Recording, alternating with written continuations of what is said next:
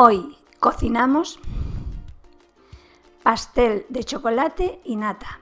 Los ingredientes que vamos a utilizar son harina de repostería, huevos, azúcar, leche, aceite de girasol, azúcar vainillado, levadura química, cacao en polvo, chocolate, nata, azúcar glass.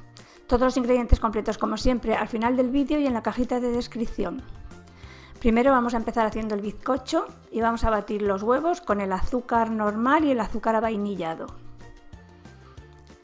hasta que blanqueen y doblen su volumen.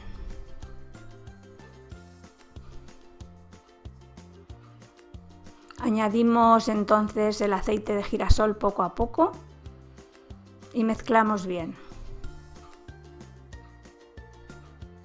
Ponemos también la leche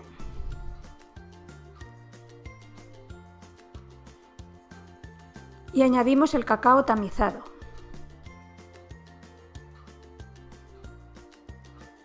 Mezclamos y añadimos la harina tamizada junto con la levadura o polvo de hornear. Mezclamos hasta que se integre bien todo y no queden grumos.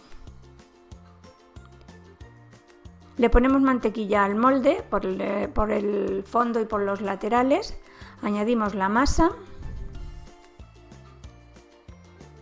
y la horneamos con el horno precalentado a 180 grados centígrados con calor arriba y abajo y sin aire unos 30 o 40 minutos.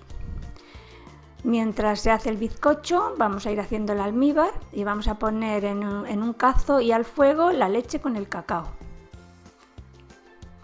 Lo calentamos hasta que el cacao se haya disuelto.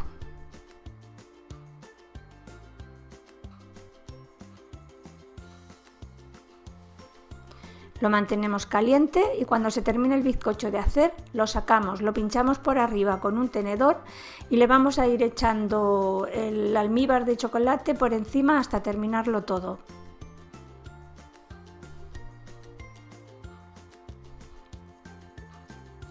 Lo dejamos que enfríe completamente. Y mientras vamos a ir haciendo la cobertura. En un cazo vamos a poner la nata y el chocolate lo llevamos al fuego hasta que se derrita. También podéis hacerlo al baño María o podéis hacerlo en el microondas.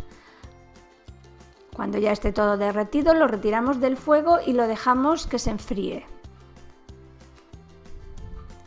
Mientras vamos a ir montando la nata